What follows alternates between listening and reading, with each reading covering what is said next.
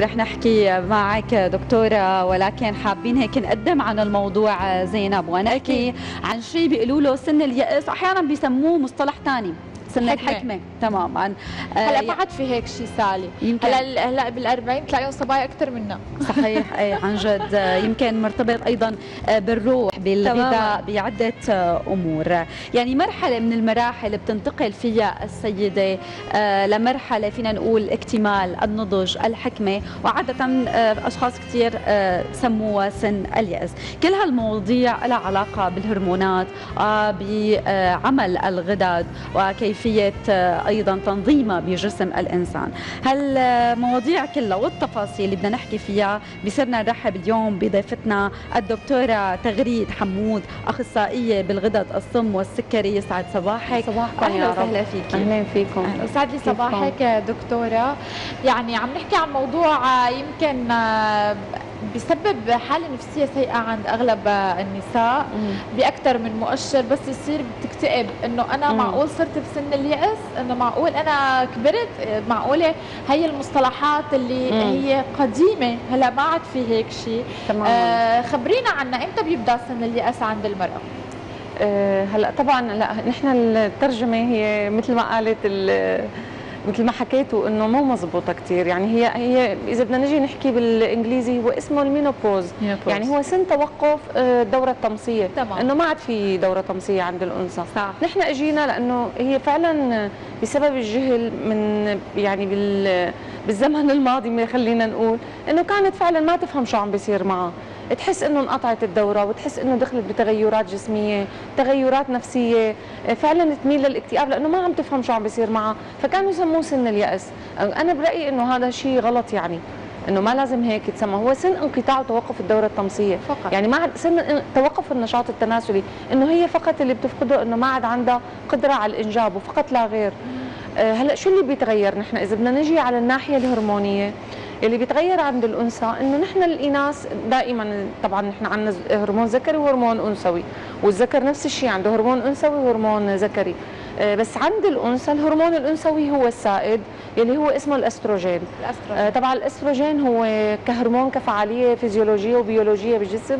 هو هرمون قوي جدا جدا. يعني إذا أخذنا جزيئة أستروجين هي بتعادل ألف ضعف كفعالية بيولوجية جزيئة التستوستيرون يلي هو الهرمون الذكري. اذا هو هرمون كثير قوي. لذلك الأنثى بتلاقيه عندها قدرة أكثر على التحمل آه، آه، عندها قدرة أكثر على إنه بتشتغل باكثر أحيانا من اتجاه. بتربي بتدير بالها على يعني بتقوم بواجبات أكثر يعني الرجل دائما بيشتغل يعني عفوا من الذكور بيشتغل دائما باتجاه واحد. صح ما تمام وهذا معروف يعني. بركز بشغلة حتى بالعلوم النفسية والفيزيولوجية معروف. الذكر ما في بيركز على أكثر من صحيح. من شغلة.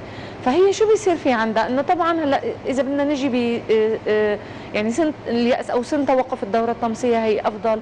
آه، هو الحقيقة بيختلف حسب النساء وحسب نعم. جسم الأنثى والوراثة. نعم. هلأ في بعض النساء بصير عندهم انقطاع طمس مبكر.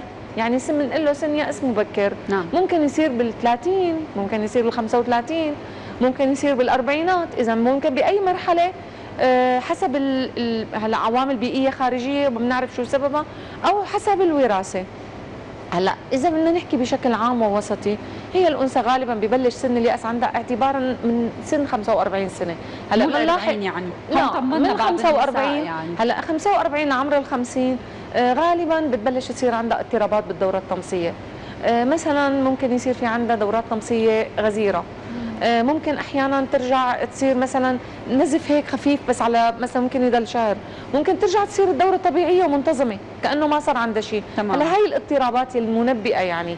هلا طبعا قبل ما تقرب على بسنتين أو ثلاثة على انقطاع الطمس الكامل يلي هو وسطيا عند أغلب النساء 50 ل 52 سنة نعم. من العمر. آه، هون طبعا بصير معنا المرحلة ما قبل سن اليأس. هون بتشكي بتبلش الهبات الساخنه آه، بتبلش عندها النوع من الإحساس بالتعب والوهن الإنهاك الجسمي. هلا بنحكي ليش بتحس فيه لهدول الأشياء. آه، طبعا في نساء هي الأمور هي الأعراض بتزيد. هلا أكثر شيء الإناث يلي بيزعجها هو الهبات الساخنة. وخاصة هلأ نحن إنه صرنا أغلبنا آه، يعني أغلب أغلب النساء بتميل إنه تكون نحيلة. يعني نحيفة أكثر ما هلأ كل ما كنا آه، يعني وزننا أكثر آه، ما في شحم بجسمنا كل ما كان المعاناه من الهبات الساكنه أكثر. تمام؟ طبعا بالإضافة للإحساس بالتعب والوهن العام نحكي ليش بالإحساس بالوهن التعب العام. هلا في نساء ممكن تضل عندهم الدوره التمثيل لعمر 55 سنة. كمان هذا ما محبذ. لأنه ليش؟ هلا نحن بجسم الإنسان بشكل عام آه عندنا الإنتاج الكريات الحمر آه كل ما كبرنا بالعمر كل ما بيقل إنتاج الكريات الحمر. كل يعني بعد ال 50 إحنا بالحالة العادية عند الرجال والإناث عم يقل إنتاجهم. فلذلك هلا هي ما عندها الإنتاج الكافي من الكريات الحمر وهي بنفس الوقت عم تفقد دم. فإذا ما منيح استمرار الدورة الطمسيه مثلا عمر 55 أو سنتين لا. تمام؟ هو السن آه الطبيعي شو 45 هلأ بال 50 52 أغلب النساء. بس الأعراض بتبلش من من 45 ل 48 سنة يعني بداية الاضطرابات بتبلش. نعم. هلأ هي فقدت الهرمون الأنثوي تبعها هي فقدت هرمون الأستروجين اللي هو الهرمون الأساسي بجسمها مين يلي صار سائد عندها هو هرمون التستوستيرون. ذكوري اللي كان هلأ هي ما عاد عندها يعني ولحسن الحظ إنه ما عاد عندها. لأنه هلأ طبعا الأستروجين هو كفيزيولوجيا هو هرمون بيزيد من التمعدن العظمي بيزيد من توضع العظام الكلس بالعظام. آه، هو هرمون جيد لجسمك كثير نعم. بيزيد من قدرتها على التحمل آه، بيساعد على التوازن الشوارد تأخذ مكملات؟ ممكن مثل شيء كالسيوم هلا هلأ نحن اذا إذا اجينا يعني هلأ نحن في نساء بتقول إنه ممكن ناخذ شوي شوية أستروجين بعد انقطاع الدورة لنخفف من هي الأعراض. يلي هي بشكل أساسي الهبات الساخنة والإحساس بالتعب والوهن العام وتطور هشاشة العظام. يعني إجباري بده يصير عندها هشاشة عظام إذا ما انتبهت على حالها. الأستروجين فينا ناخذه دكتورة أو ياخذوه النساء لما بتبلش عندهم الخربطة مثلا هلأ يفضل إنه يعني يفضل بعد ال40 إنه ما تاخذ الأنثى.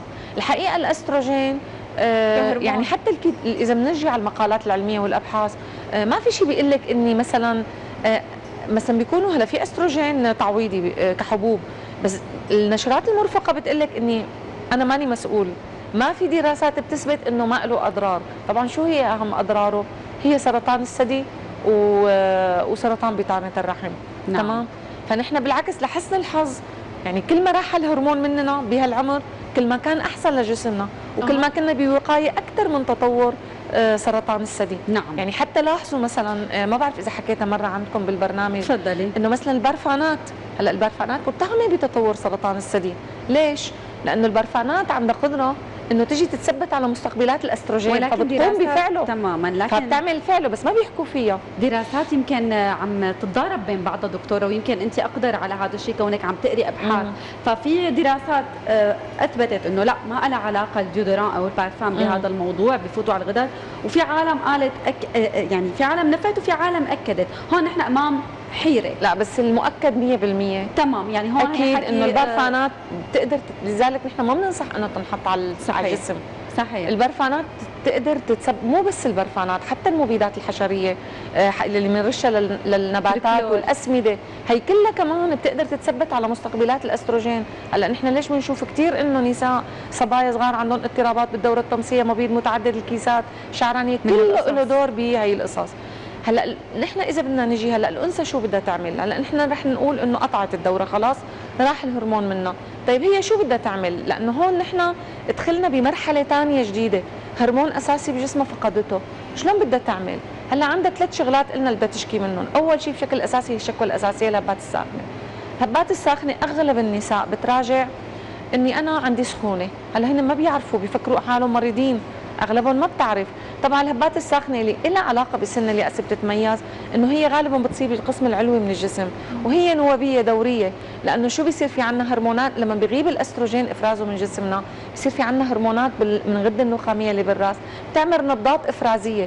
هلأ كونه ما في استجابة لها عم تعمل نبضات إفرازية وما عم ينفرز الأستروجين فهالنبضات بتكون قوية. بتغير تنظيم الحراري عند الأنثى. يعني الأنثى اللي بسن اليأس. إحساسها بالحرارة ممكن تحس إنه بالشوب الزايد مثلا بدرجة حرارة فينا بنقول 24 بينما نعم. الشخص الطبيعي بحس بالشوب الزايد بدرجة حرارة 30 نعم. وما فوق. هي ممكن من 24 تحس نعم. إنه بالشوب الزائد نعم. تمام؟ وبنفس الوقت هي بتحس بالبرودة الزايدة. نعم. لأنه بيختلف التنظيم الحروري عندها. هلأ الهبات الساخنة شو علاجها؟ الهبات الساخنة الحقيقة الأنثى آه بدها تكون آه هادية. بدها تتقبل الوضع بدها تتبع نظام غذائي بدها تاكل النباتات مثلا آه، يعني تعتني مثلا شو الأشياء نعم. اللي فيها استروجين نباتي بدها تصير تاكل من مثلا الفول الأخضر البازيلا كل شيء هدول البقوليات الخضراء وكذا يعني الخضروات. كلها فيها نعم. استروجين آه، آه، طبيعي نعم هلأ هي بن... طبعا أنا بر... يعني بنصح إنه يعني ما نلجأ للاستروجين الحبوب أكيد. يعني. التعويضي نعم نعم هلأ الشغلة الثانية اللي بتشكي منها الأنثى هي تطور هشاشه العظام كل أنثى بس تدخل بس تنقطع الدورة عنها وحتى قبل ما تنقطع لازم تنحط على على آه علاج بالفيتامين د. بشكل وقائي نعم. لأنه يعني بالحالة العادية هي الكلس بده يروح من عظمها مية خلاص. بالمية. يعني اهم لازم- شيء المكملات والفيتامينات تمام. ولازم يعني- كلس تم... كل حياتها نعم. نعم. دكتورة يعني آه نحن كنا كثير مستمتعين بالحديث وكثير تفاصيل بدنا. نحكيها مهمة. لكن للأسف خلص وقتنا. معك. بنتمنى لك يوم كثير حلو. شكرا. على كل المعلومات. أهلا وسهلا. شكرا لك وسهلاً. ورح يكون لنا وقفات ثانية وحلقات الله. نحكي بالتفصيل أيضا. إن شاء الله إن شاء الله.